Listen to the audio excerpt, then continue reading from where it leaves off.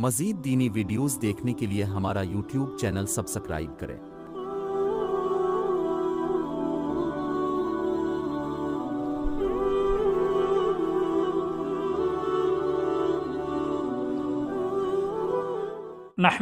वनसली अला रसूल करीम। अम्मा बाद। मुहतरम नाजरीन, मैं हूँ अब्दुल गफ़ूर ख़ान और आप देख रहे हैं मेरा YouTube channel Abdul Gafoor Kulachi official हज़रत मुहतरम इंजीनियर मोहम्मद अली मिर्ज़ा साहब उलमा से, मौलवियों से बड़े परेशान हैं और मौलवियों से शिकायत करते हुए फ़रमाते हैं कि मौलवी मेरे बारे में ऐसी बातें करते हैं जिनका मुझसे कोई लेना देना ही नहीं। तो उस वक्त मुझे बड़ी तकलीफ़ होती है। वो मेरे लिए तो बड़ी तकलीफ़ दे चीज़ थी कि हमारी तरफ़ उन्होंने ऐसी बात मंसूब की जिसका हमसे कोई लेना देना ही नहीं है। यानी मौलवी इंजीनियर साहब के मुतालिक ऐसी बातें करते हैं जिनका इंजीनियर साहब से कोई ताल्लुक़ नहीं। ऐसी बातें सुनकर इंजीनियर साहब को तकलीफ़ होती है। मोहतरम इंजीनियर साहब ये आप ही ने सिखाया है। आपका क्या काम है? आप भी तो की तरफ़ ऐसी बातें मंसूब करते हैं जिनसे उलमा का कोई लेना देना ही नहीं। आप भी तो इल्ज़ाम लगाते हैं, आप भी तो झूठ बोलते हैं, आप भी तो ख़यानत करते हैं। तो गोया उलमा को आपने ये सिखाया है कि मेरे ऊपर ऐसी बातें करो, क्योंकि मैं तुम्हारे ऊपर करता हूँ, लिहाजा तुम भी मेरे ऊपर करो। तो इंजीनियर साहब परेशान ना हो, ज़रा सब्र से काम लें। अच्छा फिर इंजीनियर साहब फरमाते हैं कि ये जो मौलवी मेरे बारे में बातें करते हैं और मेरे ख़िलाफ़ जो अकायद बयान करते हैं, हालाँकि वो मेरा अकीदा नहीं होता तो ये मौलवी कहाँ से सीखते हैं? असल में ये अपने बारे में इंजीनियर साहब फरमा रहे हैं कि मैं जो उलमा पर ऐसी वैसे इल्ज़ाम लगाता हूँ और ऐसे अकायद की बात करता हूँ, जिनसे उलमा का कोई लेना देना नहीं तो मैं ये कहाँ से सीखता हूँ?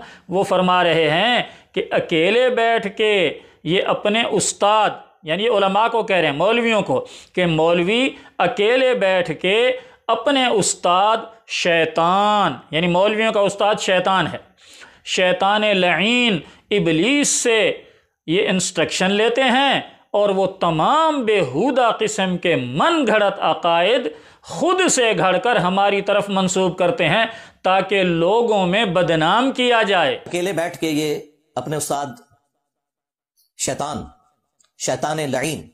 इबलीस से इंस्ट्रक्शंस लेते हैं और वो तमाम बेहुदा किस्म के मन घड़त अकायद खुद से घड़ कर हमारी तरफ़ मंसूब करते हैं ताकि लोगों में बदनाम किया जाए कि इंजीनियर साहब, ये तो आपने अपनी बात कर दी कि अकेले बैठकर और अपने उस्ताद शैतान, फिर शैतान लईन, फिर इबलीस, इससे आप इंस्ट्रक्शन लेते हैं और फिर उलमा की तरफ़ मंसूब करके उन अकायद को आप उलमा पर थोपते हैं ताकि उलमा को बदनाम किया जाए। इंजीनियर साहब, ये तो आपका काम है, उलमा और मौलवियों का काम नहीं है। मैं सिर्फ़ एक दो मिसालें आपके सामने रखता हूँ, जिनको आप हर दूसरे तीसरे लेक्चर में दोहराते हैं ताकि आपके स्टूडेंट ज़रा गर्म रहें, ठंडे ना हो जाएँ। हालाँकि उसका कोई लेना देना ही नहीं, किसी का वो अकीदा है ही नहीं। आप हर तीसरे चौथे लेक्चर में फरमाते हैं कि देवबंदी अशरफ अली थानवी को रसूल मानते हैं और अशरफ अली रसूलुल्लाह कहते हैं। इंजीनियर साहब, ये बात अकेले बैठकर आपने अपने उस्ताद शैतान शैतान लईन और इबलीस से इंस्ट्रक्शन लेकर की है। अकेले बैठ के ये अपने उस्ताद शैतान शैतान लईन, इबलीस से इंस्ट्रक्शंस लेते हैं।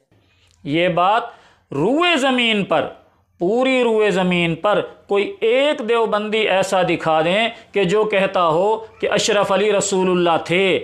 एक भी इंसान इस रुए ज़मीन पर नहीं पाया जाता जिसका ये अकीदा हो कि अशरफ अली रसूलुल्लाह है। जब किसी एक मुसलमान का भी ये अकीदा नहीं तो फिर आप शिकायत ना करें तो फिर आप भी इल्ज़ाम लगा रहे हैं ताकि उलमाए देवबंद को लोगों में बदनाम किया जाए। इसके अलावा आपका कोई मकसद नहीं। दूसरी मिसाल लीजिए। और अब हालत यह है कि ये स्पीकर और तस्वीर इसी ज़माने में अशरफ अली थानवी और अहमद बरेलवी दोनों के नज़दीक हराम था। और अब हालत यह है कि ये स्पीकर और तस्वीर इसी ज़माने में अशरफ अली थानवी और अहमद बरेलवी दोनों के नज़दीक हराम था। अब इंजीनियर साहब आप बताइए कि किस किताब में लिखा है कि मौलाना अशरफ अली थानवी ने कहा कि स्पीकर पर अजान देना या नमाज़ पढ़ना हराम है या स्पीकर का इस्तेमाल हराम है, नाजायज़ है। ये आपने सिर्फ़ और सिर्फ़ देवबंद को बदनाम करने के लिए अपने उस्ताद शैतान शैतान लईन और इबलीस से इंस्ट्रक्शन लेकर ये देवबंद पर इल्ज़ाम लगाया है ताकि उनको बदनाम किया जाए। अकेले बैठ के ये अपने उस्ताद शैतान शैतान लईन इबलीस से इंस्ट्रक्शंस लेते हैं। एक तीसरी मिसाल। इंजीनियर साहब आप हंस के फरमा रहे हैं और एक तरीका बता रहे हैं कि जी बहिश्ती जेवर के अंदर भी ये बात लिखी है। अगर ना लिखी हो तो फिर मुझे पकड़ना। कहते हैं अगर आपको अब तीस चौथी दफ़ा खुजली हुई है कमर पे ऐसे करेंगे तो नमाज़ टूट जाएगी लेकिन अगर आप ऐसे करके ए ऐसे जाके करेंगे ना फिर नहीं टूटेगी। सर ये लिखा हुआ होता ना लिखा हुआ तो आप मुझे पकड़ लें आप दुरे मुख्तार खोल लें बारे शरीयत खोल लें बहिश्ती जेवर खोल लें उन्होंने तरीके भी बताए हुए मोहतरम इंजीनियर साहब बहिश्ती जेवर में कहाँ लिखा है? कि आप हाथ को यूँ करके ले जाएँ। क्या बहिश्ती जेवर में तस्वीर बनी हुई है? या बहिश्ती जेवर में कोई वीडियो लगी हुई है कि जी जिसमें ये दिखाया गया हो कि हाथ को यूँ ले जाएँ तो फिर नमाज़ नहीं टूटेगी? ये भी आपने अकेले में बैठकर अपने उस्ताद शैतान शैतान लईन और इबलीस से इंस्ट्रक्शन लेकर उलमाए देवबंद को बदनाम करने के लिए की है। अकेले बैठ के ये अपने उस्ताद शैतान शैतान लईन। इबलीस से इंस्ट्रक्शंस लेते हैं। तो मोहतरम इंजीनियर साहब, आप ओलमा पर जो इल्ज़ाम लगा रहे हैं, वो तो सेंट परसेंट आप पर सादे आ रहा है।